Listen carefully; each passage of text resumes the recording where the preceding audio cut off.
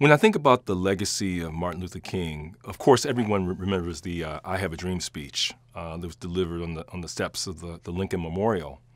But what's more profound, I think, about his life and his work is what he talked about in the later years when much of what he was saying wasn't very popular um, for those in power. That is to say, he was challenging the Vietnam War, he was talking about poverty, and of course, he was assassinated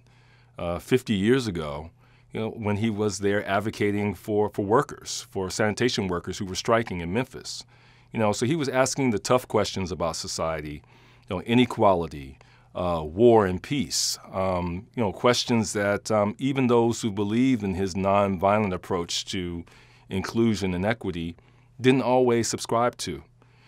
So when I think about a place like UCLA and why many of us, um, first of all, chose to go into academia and to come to a place like UCLA, I think it's really about grappling with the world's most pressing issues and figuring out ways to bring evidence and scholarship to bear on those issues so that we can really pave a path forward um, to a world that's, that's better than the, the world we currently have.